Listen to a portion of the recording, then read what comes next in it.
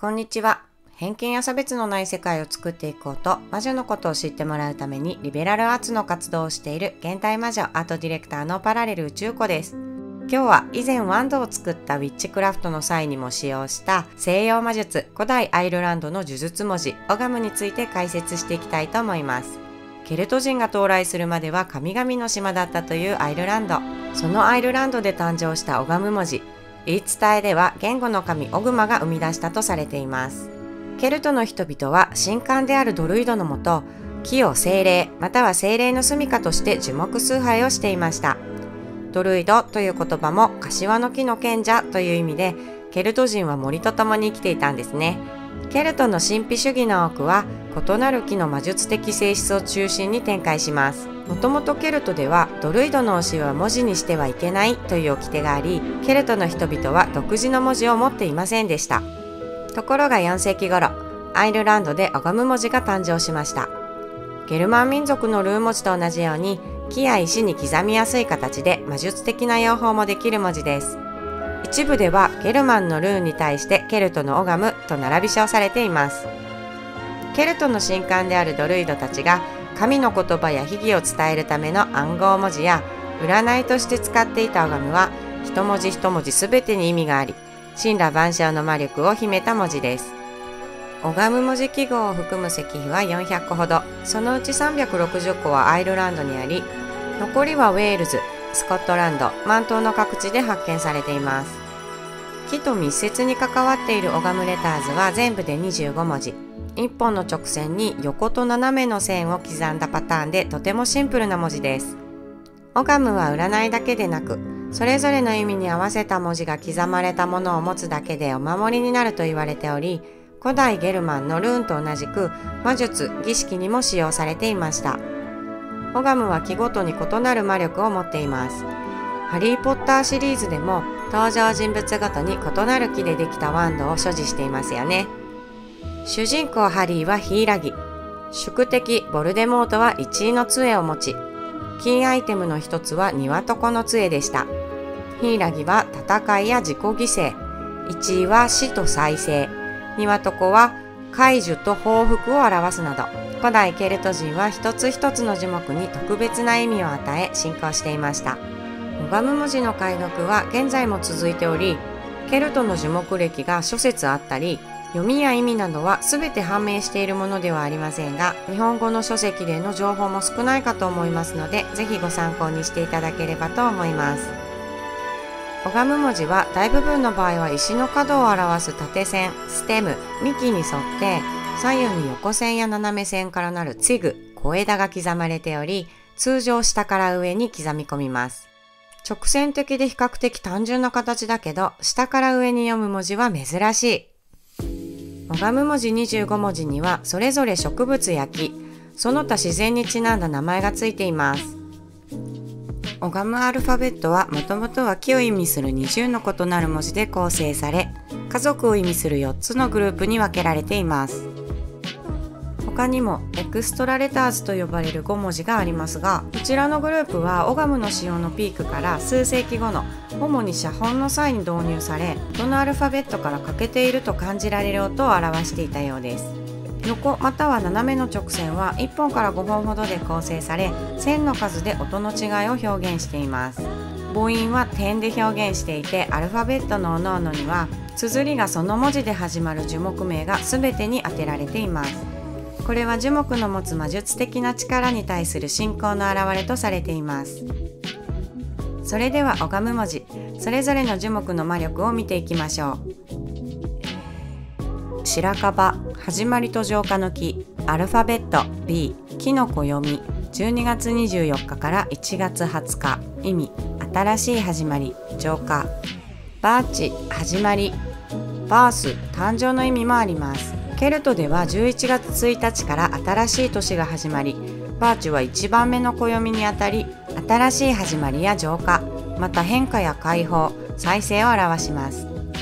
冬至を迎える12月北緯66度を超える地域では太陽が南地平線に沈む極夜が到来します。カバの木は丈夫で痩せた大地や厳しい環境下でも成長しわずか12本の木が数十年で森になります。極北の原始の大自然と向き合うケルト人にとって逆境を生き抜く気品ある白い白樺は驚異的でこの樹木を森の白い女神として崇めました。そんな始まりのカバの木は古代の植物学でも薬草から羊皮紙の代わりなど様々な用途で使われてきました。樹液は保湿能力が高く化粧品に使われキシリトールの原料にもなります。美と競争の治療薬として熱や胃の薬として用いられました。葉の煎じ薬は皮膚病や傷の治療に使われ、ビタミン C が含まれることからダイエットにも使われます。バーチが現れるときは、あなたが持ち続けてきたすべての悪影響を取り除くべき浄化の時を意味します。魔法の観点からは、守護、浄化、悪魔払いの魔術に使われます。母なる木、マザーツリーとも呼ばれ、ルーンのベオークはバーチを表すものとされます。ルーンでは母なる大地の意味でしたが、オガムでは新しい始まり、浄化といった意味を持ちます。バーチのワンドで霊に取りつかれた人を軽く叩いて除霊したり、バーチの枝は邪眼、雷よけとして吊るされます。カバの木のメッセージ。あなたの人生で何が悪いのかを理解し、肯定的なもの、祝福と豊かさに焦点を当てましょう。ネガティブに引きずられるのではなく自分にとって不必要となったものや悪影響の人間関係を手放し残すべきものを見極めること。精神的感情的な再成長。荒れた場所を再生するために手放すものを浄化し新たなスタートを。七かまどローアン魔除けの木アルファベット L キノコ読み1月21日から2月17日。意味、魔法からの守護、感覚のコントロール。七かまどは魔法からの守護、感覚のコントロールといった意味を持ちます。魔的なことに対する守護、五感をフル活用して危険を察知すること、五感のコントロールを表しています。七かまどは西洋では魔除けとして長きにわたり神聖視されてきました。北欧神話の中で雷神トールは七かまどに助けられ川を渡りました。雷神トールは後ほど出てきますが、アベンジャーズの雷の神様、マイティーソーの元ネタです。そこからバイキングたちはこの木を船の一部に使い、水難のお守りとしました。7階かまどに入れても燃えないということが由来になっている7かまどの木は、守護と霊的なパワーが秘められた燃える生命力のような赤い実をつけることから、輝く炎、魔除けの松明と呼ばれました。七かまどの月に生まれた人は世の中の役に立てることを何より喜びます。下世話な欲望にとらわれることなく世の中を俯瞰して観察できます。七かまどはその実が生命力を与えるとされ、リンボルクのサバトでは火の女神ブリジットに掲げられた神聖な樹木です。芸術的なインスピレーションや直感と深い結びつきを持ちます。ちなみに今解説をしている宇宙湖の生まれ月はケルトの樹木歴ではこの七かまどの月になります。かつて船乗りが星を目指したように七かまどは私たちに進むべき道を示してくれます。魔法の観点からは直感力を高めヒーリング守護成功や権力の魔術に使われます。赤い果実は半分に分かれた時内側に小さな五角形が現れることから魔除けとされます。枝は霊的な力を高めるとして魔女のワンドに使われウィッチウッドとも呼ばれています。アイテムが持つ力を高めたり守護の力を与えるために掘られ邪悪な精霊の侵入を防ぐためにドアに吊り下げられていました。またドルイドたちは儀式場を囲むようにして植えたとされ七かまどの煙は霊を呼び出したと言われスコットランドでは魔術的なものを避けるお守りとしても使われました。七かまどの木のメッセージ。スピリチュアリティを高く保ち直感に従いましょう。感情的肉体的または霊的な害をもたらすかもしれないものからあなたを守るのに役立ちます。半の木信託と占いの木。アルファベット F もしくは V キノコ読み3月18日から4月14日。意味助言信託守護半の木は占いの守護目です。オスタラの時期に開花し、現実と精神世界の魔法の橋を橋渡しします。橋は現実と精神世界の狭間で不一致がある人々の仲介者となります。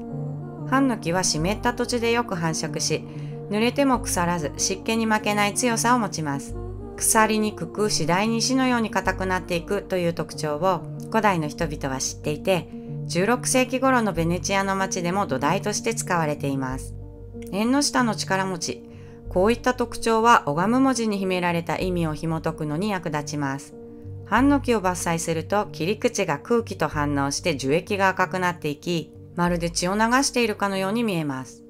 ケルトの人々にとってハンノキが生えていそうな沼や湖などの湿地帯は、冥界のほとり、死を象徴する場所として捉えられていました。そこには精霊や悪魔がいると言われ、ハンノキはそれらから引きずり込まれるのを防ぐと言い伝えられています。ドルイドたちは湿度が高く、霧が立ち込める沼や湖のそばで瞑想すれば、容易に冥界へ入り込むことができると考えていました。神々の住まう場所、そしてここではないあちらの世界につながる木、そういう思想から愛するものを守るための手段として死の儀式にも含めることができます。魔法の観点からは、ケルト神話でブランの聖なる木と呼ばれ、神聖な樹木として拝められてきました。ブラン王の使い魔である渡りガラスは予言と死を象徴する動物でもあります死を司る王でもあるブラン王がマソルフ王に送った魔法の大釜は死者が蘇る再生の大釜ですケルトの神々の中には大釜を携えている神が多く登場し儀式を司る司祭たちが細具として使用する大釜は命と再生の象徴でした。再び受け入れ新たに再生してくれる普遍的な母体というような意味があります。大釜はハンノキが好む沼地や湿原などの湿地帯とリンクしています。ケルトの人々は死は終わりではないと知っていました。トネリコの月でも出てきますが全ての出来事はとどまらず輪が回るように影響し合っている。始まりは終わりへ終わりは始まりへという思想を持っていたケルトの人々はハンノキを生命が消失し再び再生する場所と捉えていたのでしょう。ハンノキのメッセージ基盤づくり土台づくりに最適な時期です。これから迎える新年度に向けて計画を立てたり準備するのに向いています。スピリットと正しい距離感で向き合うことができ能力に溺れず正しい信託を授かることができます。柳ウィロー月と夜を司る女性の木。アルファベット S キノコ読み4月15日から5月12日。意味女性性月のリズム直感。柳はウィローのシンボルで夜月のリズム女性性といった意味を持ちます。女性の木と呼ばれ霊的月のパワーが宿りインスピレーションを与えてくれるとされます。古代ケルト世界において柳は月の神の樹木でした。ドルイドたちは柳を通して月の神秘の力を授け霊力と直感力を高めたのです。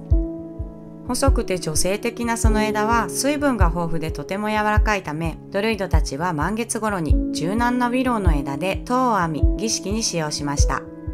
月は女性性の象徴でもあり日ごとに姿を変えるその様は恋多き女神の移ろう心を思わせます。潮の満ち引き光と影喜びと嫉妬誕生と死。私たちの内面世界は海より広くて深く言葉にできることなどほんの一部に過ぎません。柳の精霊はそんな心の源泉が枯れないよう水でいっぱいに満たしてくれます。魔法の観点からは月の魔術専用の杖としても使用されィローのどの部分も魔除けのアイテムになるとされます。特に女性がワンドとして使ったり芸術でその力を求める時に役立ちます。庭にウィローを植えると最後の時に安らかな眠り死は繁栄となります。民間療法では炎症を抑えるために柳樹皮の茶を使用しました。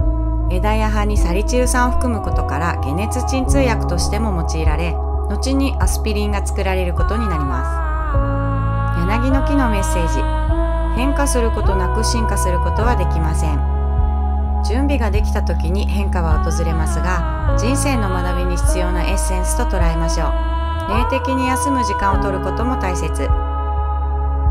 トネリコアッシュ。世界樹ユグドラシル。アルファベット N きのこ読み5月25日から6月3日。第5の月とする説と第3の月とする説があるようです。意味世界の木内側外側。トネリコはドルイドの神聖な3本の木。アッシュオークホーソンの一つ。北欧神話は9つの世界から成り立っています。アース神族の国アースガルドや妖精たちの国アルフヘイム。私たち人間の住む世界はミッドガルドと呼ばれています。ケルトでは3つの円をなす世界観。異界のアナザーワールド。中海の物質界。冥界のアンダーワールドがあります。輪廻転生をするために円を通過しながら上も下もない3つの世界を行き来します。そしてそれら全てを内包するのは世界樹ユグドラシル。この巨大な木のモデルとなったのがトネリコです。トネリコはとても長い根を張り曲線的で優しい色合いの幹はどこか女性的です。しかしそんな柔らかな印象とは裏腹に木材はとても丈夫なため槍や斧矢を作るのに重宝され戦いの木としての役割も担ってきました。またトネリコは雌花と雄花の区別がなく一つの花におしべとめしべが備わっています。男と女陰と陽天と地そして始まりと終わりさえも全てが混然一体となって調和するとき生命の円環は途切れることなく紡がれケルト宇宙を形作るのです。つながりと創造性そして世界の間の移行の象徴トネリコはまさにそんな世界観を体現している樹木と言えます。魔法の観点からは魔術を強化するために使用されます。ドルイドたちはこの樹木に水と関わる魔術的な力を見出し、魔法の杖をこしらえて雨乞いや水害よけのおまじないをしました。枝や葉を玄関などに吊るすことで悪意や悪霊は入ってこれない結界になると言われています。トネリコの木のメッセージ。すべての行動には原因と結果があり、これらは自分自身だけでなく、他の人々にとっても影響があることを忘れないでください。宇宙は巨大なウェブのようなものです。私たちは全て互いにつながっているので、霊的な世界と肉体との間、そして全ての生き物との調和を見つけることが大切です。トネリコは平和な心と堅実な努力によって魔術を勉強した人に素晴らしい力を貸してくれます。三座子、ホーソン、光を称える愛の木、アルファベット H、キノコ読み、5月13から6月9日意味守護定説抑制バラ科の尖った針状の三座子の木は繁殖力、男性的なエネルギーを象徴しており、信頼、定説、抑制といった意味を持ちます。ケルト歴で5月は夏の始まりを予感させる季節。太陽が新たに生まれ変わり、氷に閉ざされた世界が終わりを告げます。恵みあふれる日の中で生命が芽吹く季節。三座子はまさに光を称えるシンボルツリーと言えるでしょう。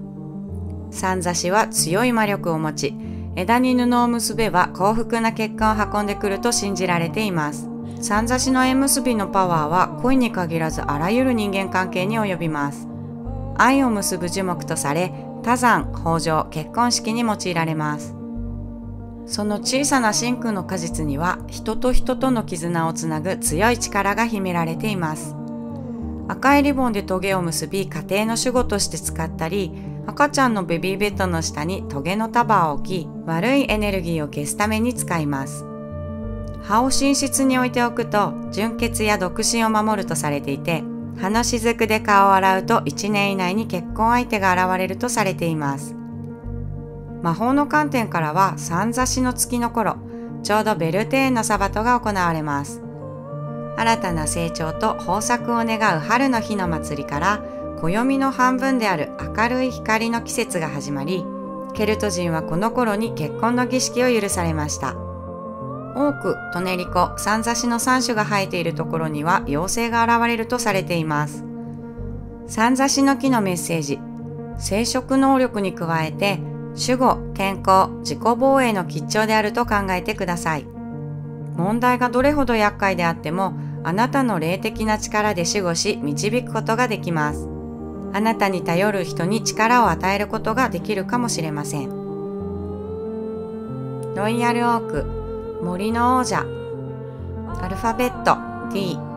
キノコ読み6月10日から7月7日。意味強さ安定成功保護。古代ケルト人は不動の力強さの象徴を多くに見出しました。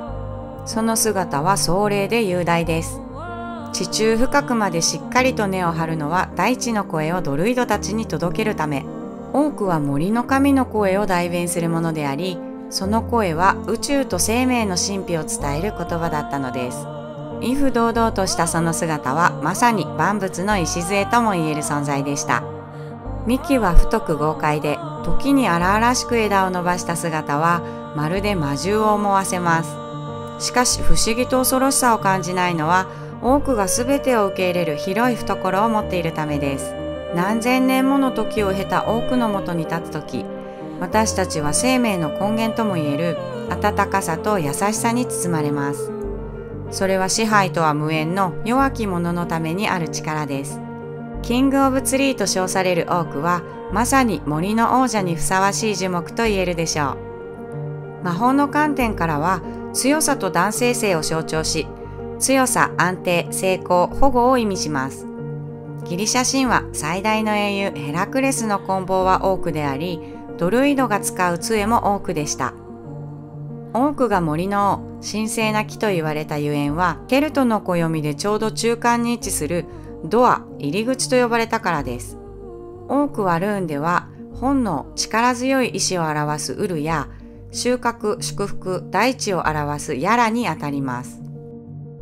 多くは長寿で強い木なので庭に植えると身の安全を守ってくれると言われています。地面に当たる前に落ちるオークリーフを捉えれば翌年は健康になり、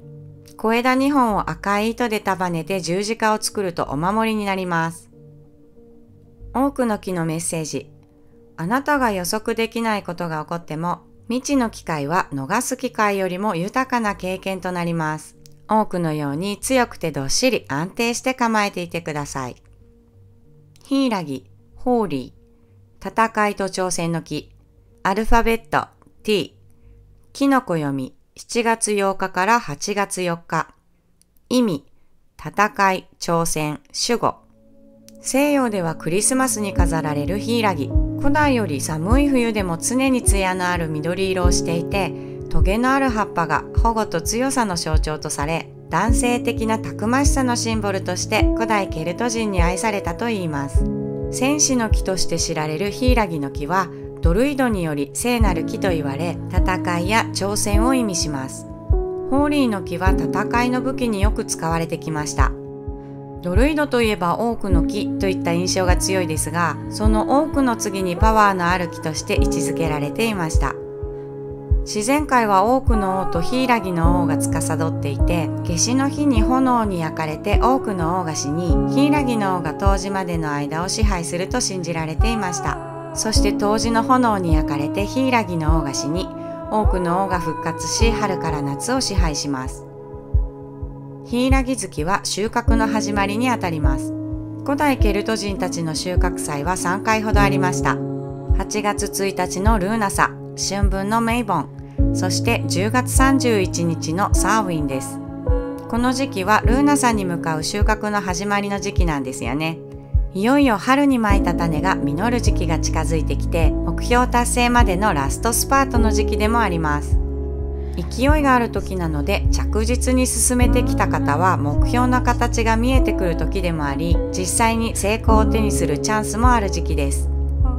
プレキリスト教の英国の島々では魔から守護するために家の周りに植えられていました。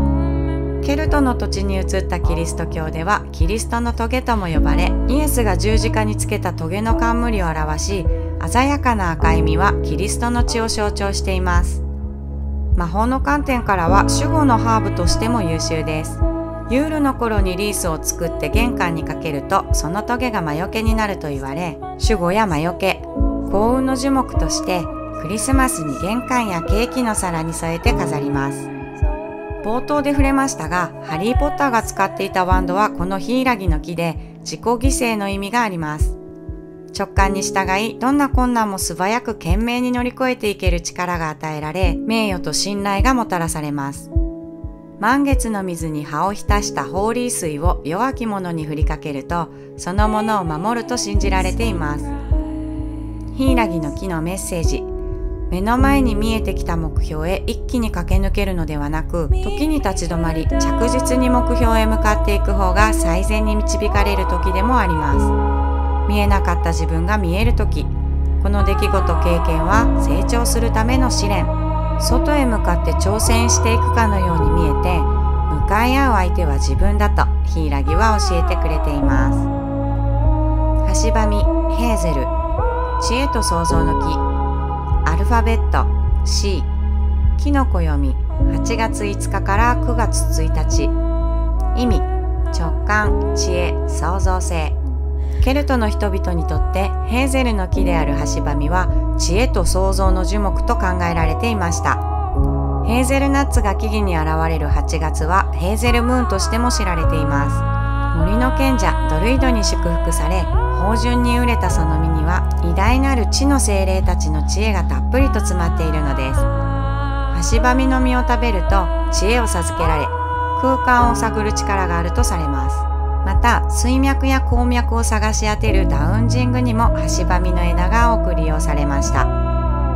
橋ばみは雌花と雄花の区別がなく一つの花におしべとめしべが備わっていて自力で受粉して新たな活路を開拓することができます。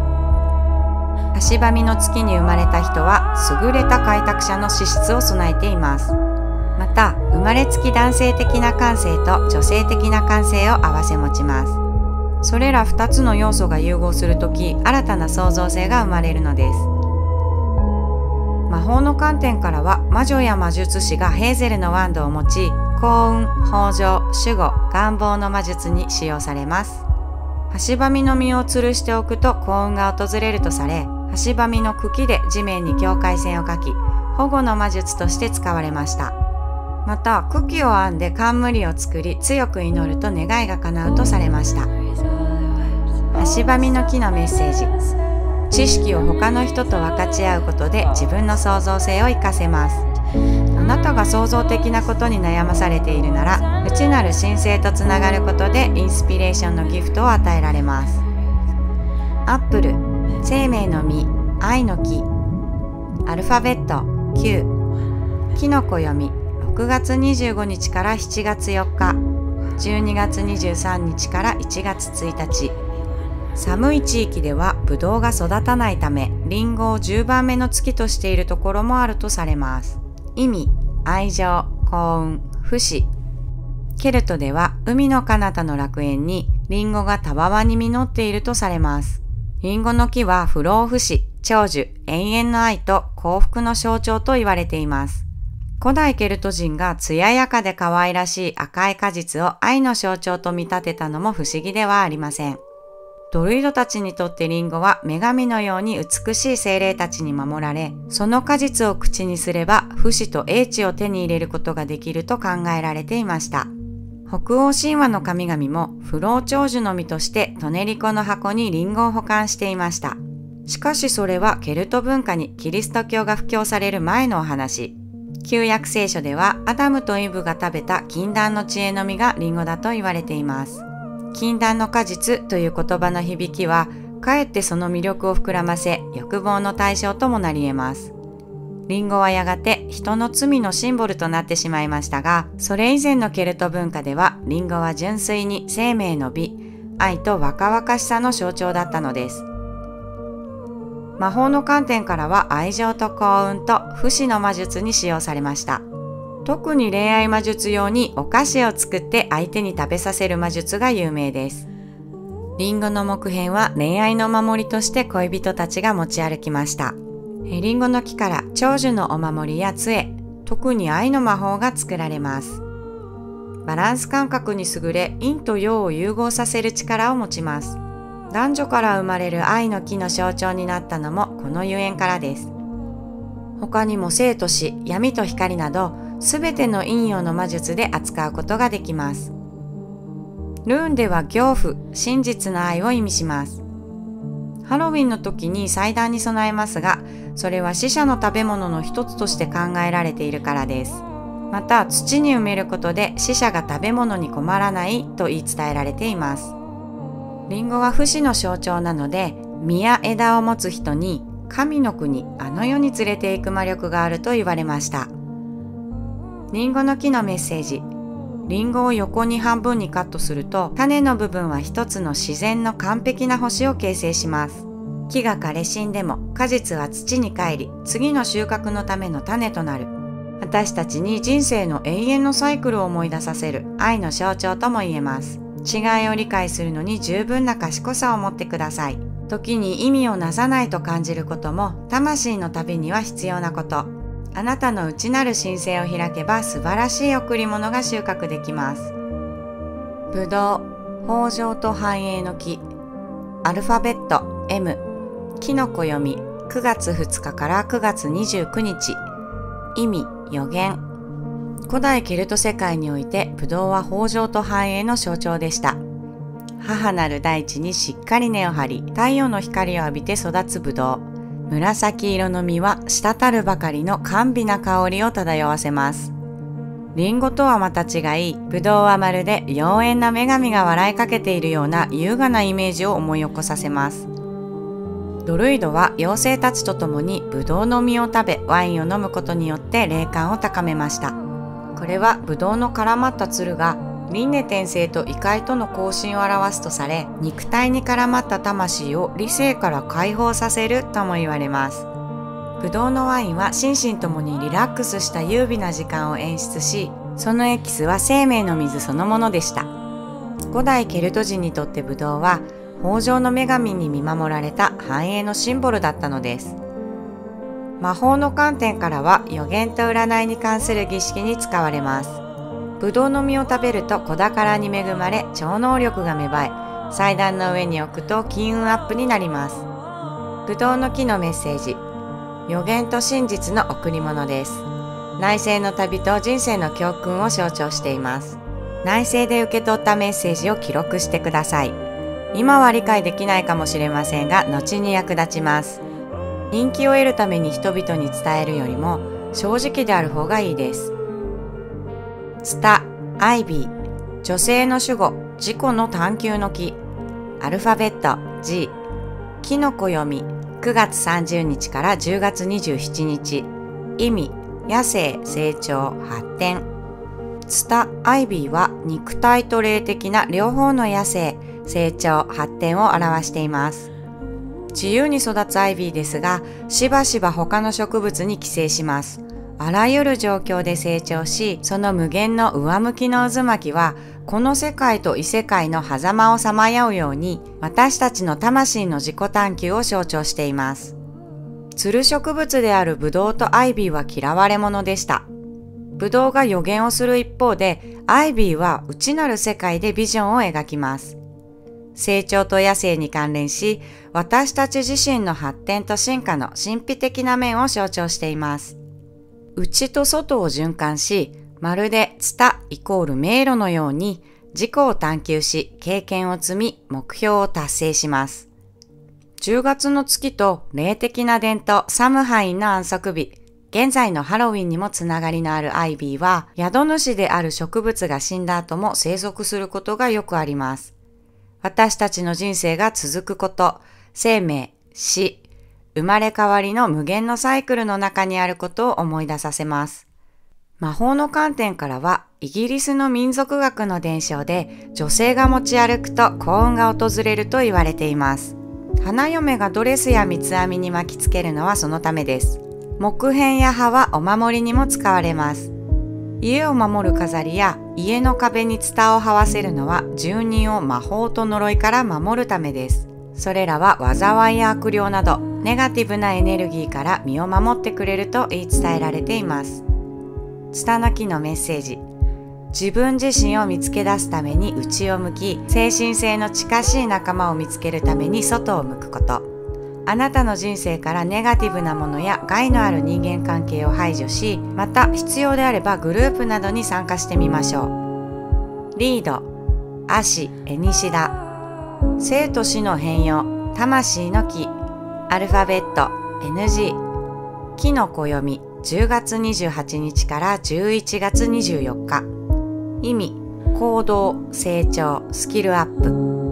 印のように川沿いにまっすぐ伸びるリードは行動や目的を示します。またリードは現在のハロウィン頃の世界の狭間のベールが最も薄い時生と死の変容に同調し魂の旅輪廻転生の意味があるとされます。それはリードは陸地と泥水の中でしっかりと根付くことから異界や冥界など他の世界への入り口だと言われたからです。魔法の観点からは木よりも草と密接に関係していて古代エジプトの死者の書では死後の世界楽園 R は足が茂る野原です。日本は足が生い茂る国であり古名も豊足原の水穂の国と伝えられています。紙や布穂やかやぶきボートなど軽い建材として耐久性のある強力な繊維が使用されていました。発性の油が豊富で寺院の浄化や美薬のために使用されましたリードの木のメッセージリーダーシップの役割を果たすべき時ですあなたのスキルや能力を使って物事を整理し、状況を正しい軌道に導きましょう。破壊から再生する必要があることを示しています。行動する前に考えて反応的ではなく積極的に行動してください。人生の旅路には困難がつきものですが、困難があるからこそ魂は磨かれ、実り多いものとなります。その旅路の学びのプロセスこそ目的地と同じぐらい重要なものなのかもしれません。ブラックソーン林木2曲をコントロールする木アルファベット Z キノコ読み特になし。意味選択。二極感抵抗力。権威と統制の象徴であるブラックソーンは強さと結びついており逆境に勝ちます。樹皮の黒いブラックソーンは周囲が枯れている時に丈夫になる冬の木です。民族学の伝承では荒れ果てた冬をブラックソーンの冬と呼び魔法と魔法の暗い側面を表しています。スコットランドとアイルランドのいくつかの地域で知られている冬の創造女神カリアハベーラやダークマザートリプルゴッティスに関連していて再生と成長の才能を呼び起こします。その印象から個人的には一番魔女を感じる樹木で深層心理にいるコンプレックスや闇の部分に対峙し己を強くする助けをします。つまり二面性を理解し受け入れることができます。魔法の観点錬金術的には深層心理を受け入れることは足を金に変え人生に調和をもたらします。ブラックソーンは対極する二極感を表しそれを調和させバランスを保つことを教えてくれます。戦士の血と死に関係が深くケルト神話の戦争の女神モリガンとも強いつながりがありアイルランドのケルト文化では伝統的にブラックソーンの幹が杖や棍棒に使われます。ウィローと月を共有すると考えられています。ブラックソーンの木のメッセージ。新しい旅の始まりの時変化が必要な場合は特に予期せぬことが予想されます。計画は変更されるか破壊される可能性がありますがこれらの困難を克服することはあなたに力を与えるでしょう。あなたとあなたの人生が変化していくことを実感してください。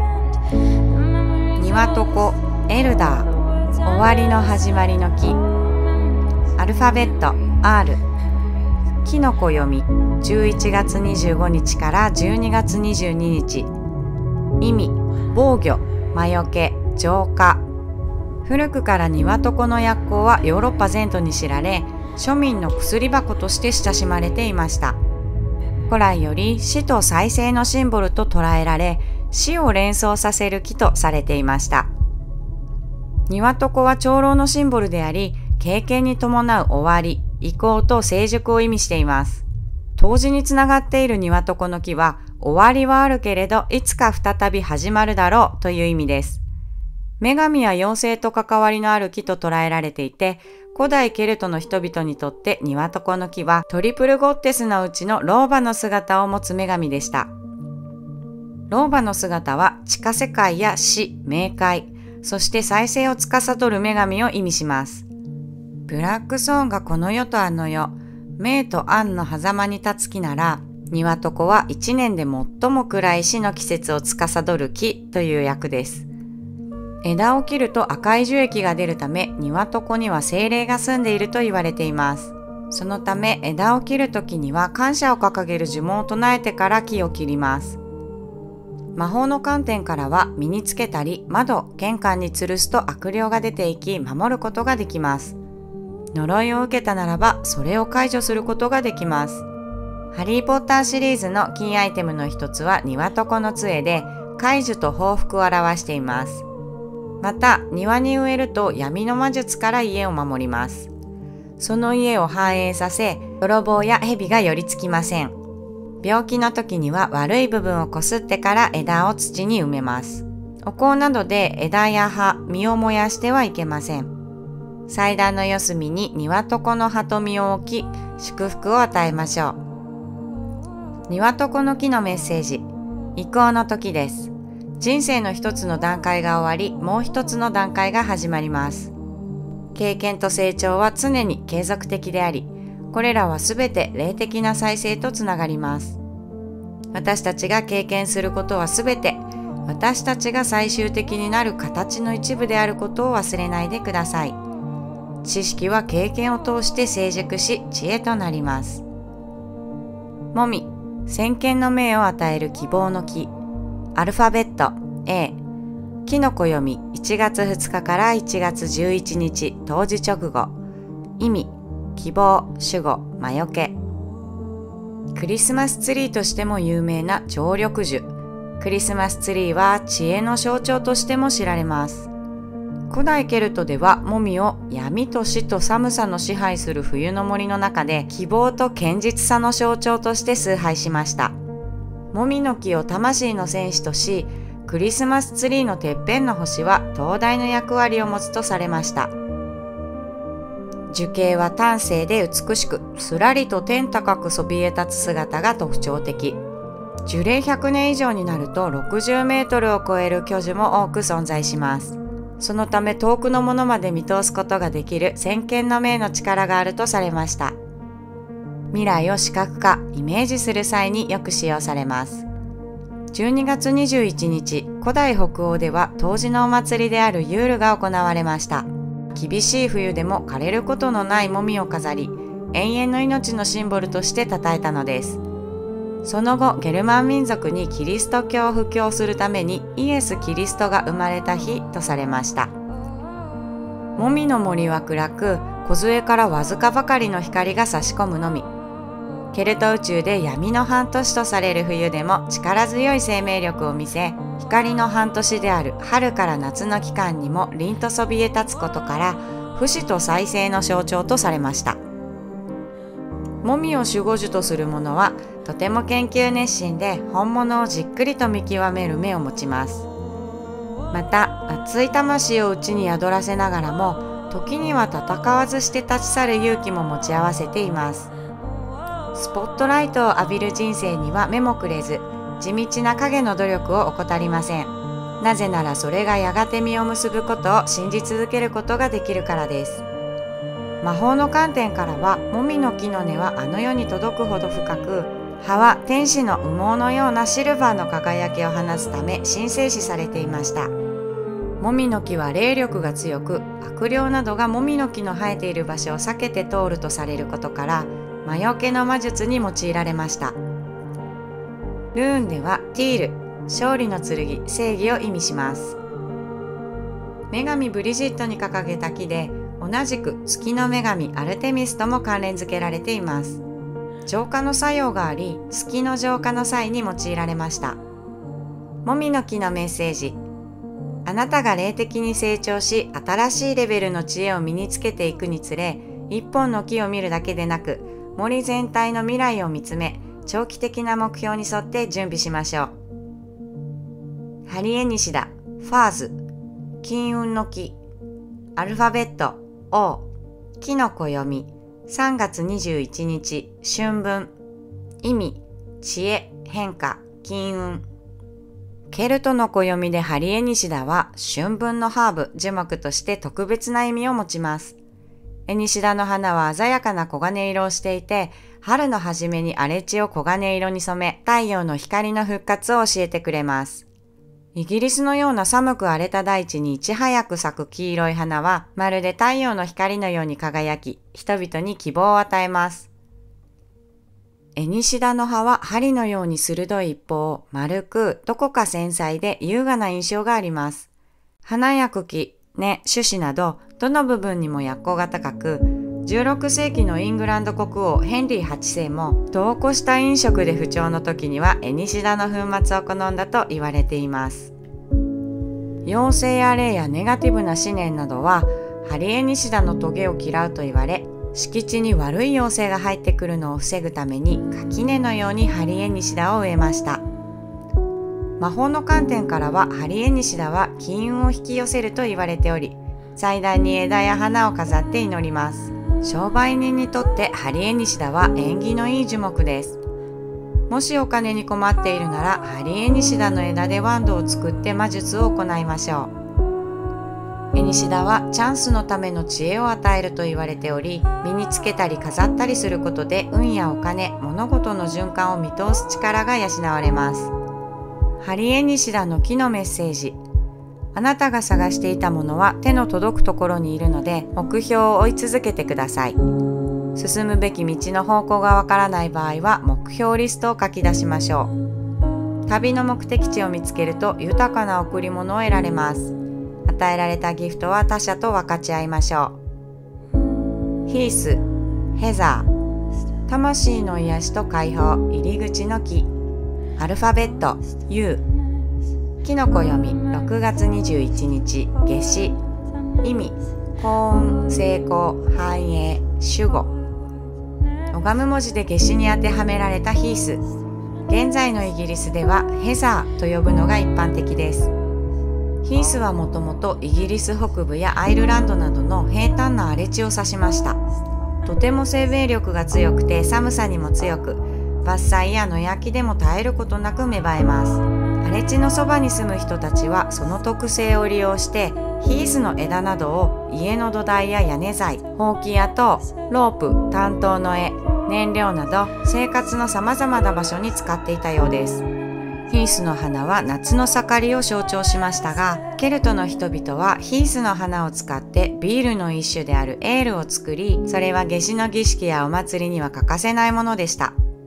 古代の人々は夏の到来とともにエールを仕込み、夏至の儀式やお祭りで飲み明かし、英気を養ったり情熱を爆発させたのでしょう。酔いや幻覚効果の中、目に見えない世界とアクセスし、神々の声を聞こうとしたのかもしれません。アイルランドやスコットランドのゲール語でヒースを表す言葉は猛烈なとか戦闘的なという意味があると言いますヒースの華麗な花姿からは連想ができませんがこれはヒースエールを飲んだ人々の様子から来ているのかもしれません。拝む文字の裏の意味もこのことから来ているようです。キーワードは情熱、奔放、ストレスから解放される。魔法の観点からはお守りにして持ち歩くと身を守り幸運を呼ぶと言われました。特に白い花は恋人や新婚夫婦にとって愛の幸運の印だと言われます。ヒースは死者の魂や幽霊を呼び出す高齢術に使われました。そのためサウインのサバトでも使用されます。エジプトの女神イシスも愛したヒース。女神のしもべであるミツバチもヒースの蜜が大好きです。ヒースは宿り木の意味も表す側面があります。地球と霊界を結ぶ入り口で夏至の日の出に太陽の光の柱からなる3本の光線がそれにあたります。これはケルト宇宙の3の性質と同じです。ミツバチはこの光に沿って斜めに進み地球と霊界を行き来することからメッセンジャーとみなされていました。ヒースの木のメッセージストレスを解消する時です。私たちの体と精神は厳密に結びついていることを忘れないでください。健全な魂を築くには肉体と精神の癒しが必要です。あなたの肉体があなたに何を伝えているかをよく聞き自分自身を癒しましょう。ポプラ風の声再生を助ける木。アルファベット E キノコ読み9月21日から9月23日。秋分。意味。金運話術魔除け。昼の時間と夜の時間が同じ長さになる日秋分は秋巻きの種を植える時期そして第二の収穫時期でもありました。11月1日が新年の彼らにとって1年の終わりも近づき冬支度の準備に意識が向く時期でもあります。ケルトの樹木歴でポプラは先行き不安な気持ちや環境の不安定なこの秋分に位置づけられています。昼と夜男と女という2曲が均衡している秋分の頃に位置づけられたポプラは肉体と霊体の2つの世界をつなぐ冥界の世界を象徴します。ペルセポネやイザナギの冥界の旅を象徴する樹木で古代の埋葬地にはポプラの冠が多く発見されています。空に向かってそそり立つポプラさわさわと囁くような外れの音風の精霊の力が強いことも特徴です突風でもそよ風でもいつもざわざわと囁く木であり話していると言われます。震える木とも言います。こうした風属性の力は言語や会話を意味し、古代ケルト人にとってポプラは天の声を伝えるメッセンジャーでもありました。またポプラには不安や恐怖に打ち勝つ力があると信じられていたため、ケルトの戦士たちはその材木で盾をこしらえました。ポプラはとても成長が早く広い範囲で育つことができます。そのため、ポプラ好き生まれの人は何事も素早く吸収し、行動力と適応力に優れています。生まれながらに風の使者としての宿命を背負っているのです。魔法の観点からは、ポプラのお香を焚くとお金を引き寄せる魔術になります。また、アストラル投射、体外離脱するための飛行難航の材料になります。泥棒よけのために庭に植えたり、葉を噛むと話術が雄弁になるため、弁論術や商売に役立ちます。障害を乗り越えたり、直感を高めてくれますので、ビジネスマンや商売人にはぴったりです。ポプラの木のメッセージ。現実世界の圧力に屈せず、あなたの霊的な旅に焦点を当ててください。たとえそれが物事を崩壊させるようなことであってもです。どのような困難が来てもあなたがその恐怖を乗り越えることができれば最終的に残るのはその経験だけです。あなたという人生の旅の重要な一歩を踏み出してください。1死と再生の木アルファベット I キノコ読み12月22日当時意味除霊術死と再生ケルトの樹木歴で冬至にあたる1位は死と再生のシンボルです。強い日の光を嫌い、影を好む1位の木は小枝に螺旋状の葉がついています。新しい成長が古いものの中に形作られているため、死後の再生と新しい人生が深く結びついています。ドルイドは輪廻転生を信仰しており、ケルト宇宙において魂は不滅のものでした。死は終わりであると同時に始まりでもあります。一位の木は弾力性に富み、ケルトやアイヌでは弓を作るための材木として重宝されてきた歴史があります。アイヌ語でもこの樹木を弓の木を意味するクネニと呼びます。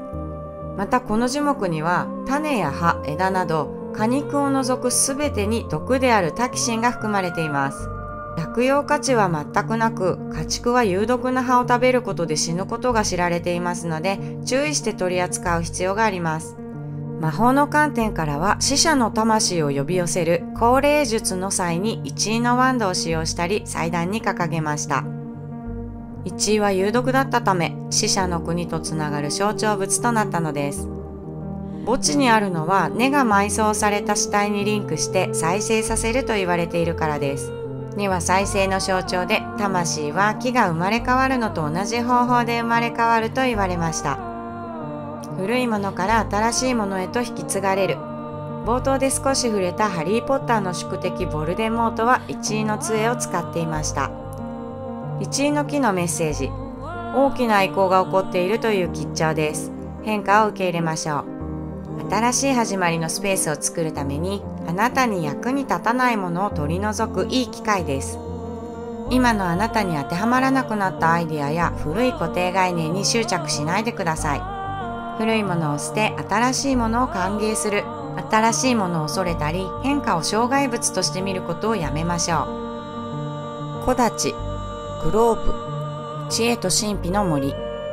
アルファベット EA キノコ読み。特になし。意味すべての知識過去現在未来。ドルイドが集まる神聖な場所に見られる樹木で特定のグループによる会議集会が行われます。多くは多くで構成された木立で時には他の樹木も混在します。これらは神秘の森であり古代のドルイドの遺産であると言われています。魔法の観点からは迷信かどうかは別にしてスコットランドでは現在も生きるグローブが存在しています。木立のメッセージ何らかの紛争解決正義または相談が起こることを意味し霊的な場所を思い起こさせます。裁判にならないようにしてください。争いが起こる場合は状況を解決するために感情ではなく公平さと知恵を使うことを意識すれば誤解を取り除き相違を解決することができます。その確信にコミュニケーションがあることを理解してください。争いは議論なしに終わらせることはできません。他者のニーズに耳を傾けないのであれば人と人が共にあることはできないからです。人気を得ようとするのではなくあなたの経験に基づく言葉と行動で公平に導くことを学びましょう。スピンドル、喜びとひらめきの木、アルファベット、OI、キノコ読み、特になし、意味、喜び、ひらめき。スピンドルはボビンやペグ、糸紡ぎ車、スピンドルを作るために使われた木です。木材は白くよくしなるため弓の材料になりました。スピンドルは雷の力と関連づけられています。また、家族関係やコミュニティとのつながりも意味します。多くの神話で雷の力を持つ神様は瞬発的で突発的な事象とひらめきを扱います。魔法の観点からは世界中で大人気 MCU の中のシリーズマイティー・ソーも雷の神様でしたね。このマイティー・ソーの元ネタである北欧神話最強の戦士こそ雷神トールです。北欧神話では世界の始まりは火と氷の中から巨人ユミル、巨人族の先祖と目牛、アース神族が生まれます。目牛の産んだ神が巨人族の娘と結婚、3人の子供が生まれます。そのうちの1人が北欧神話の最上の神、オーディンです。知識欲が強く自分の片目を差し出し、ルー文字を作ったのもオーディンです。巨人族への不満からユミルを殺害し体を解体して世界を作ります。肉で大地を、骨で山脈を、海辺で拾った2本の木から人間を作り、ミッドガルド、地球を作りました。これは MCU でも出てくる呼び方です。そしてオーディンたちは天井に僧たちの住む世界、アスガルドを作り、巨人を遠くへ追いやりました。後に世界の中心に世界樹ユグドラシルがそびえ立ちました。MCU では別世界を表しています。そこから個性豊かな神々の物語が始まるのですが、北欧神話最強の戦士、ライジントールをモデルにした雷の神様マイティ・ソーは、自分の星の血縁家族も地球の人々も、心の中で精神的につながっている愛する人々は皆分け隔てなく家族と呼んでいました。家族、コミュニティとのつながり、そして瞬発的で突発的な雷の力。ソーのキャラクターからはスピンドルを感じずにはいられません。スピンドルの木のメッセージ。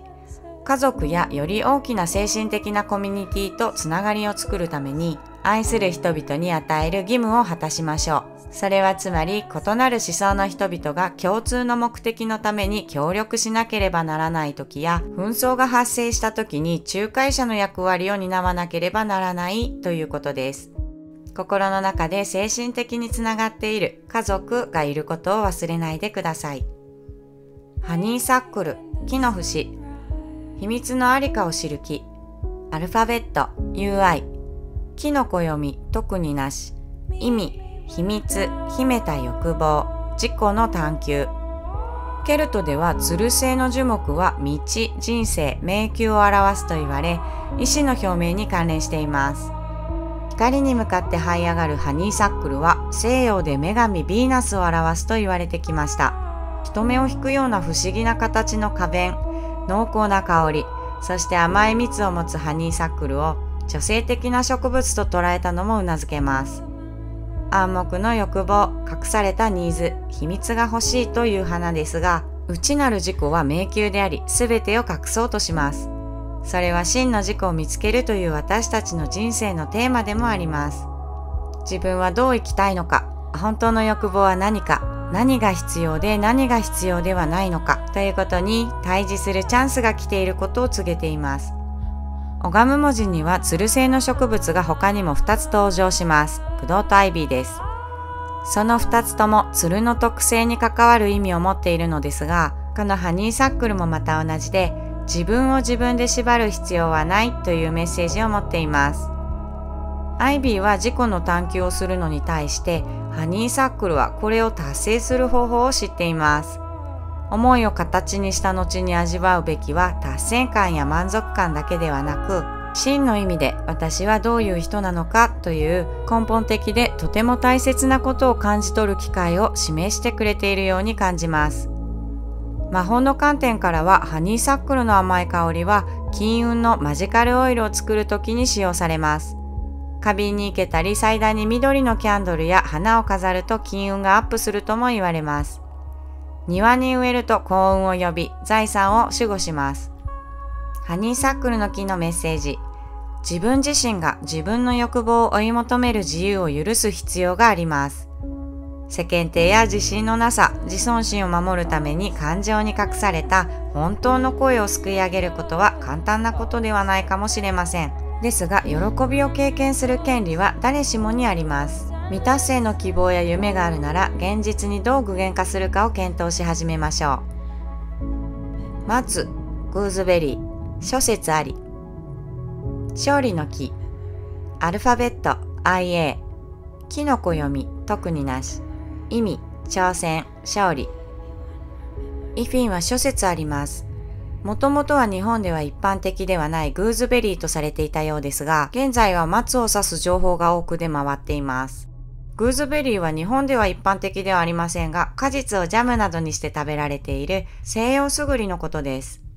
オガムはまだまだ解読されていないことが多い文字で様々な見解があり、イフィンのシンボルを先ほどのウィリアン、ハニーサックルとし、先ほどのウィリアンのシンボルをブナのファゴスとするなど諸説あります。イフィンはなぜグーズベリーから松またはハニーサックルへと変わったのか。日本語ではそもそも情報が少ないので英語の情報もかなり掘ってみたのですが海外でも同じような疑問を抱いている方はいるもののその理由まではわかりませんでしたなのでここでは英語の情報でも多く見られたイフィンイコールパイン松をベースに解説していきます古代ケルト人にとって松は火の精霊が宿る樹木でした。スコットランドでは松は戦士の象徴であり、戦闘で倒れた人々の墓の上に植えられました。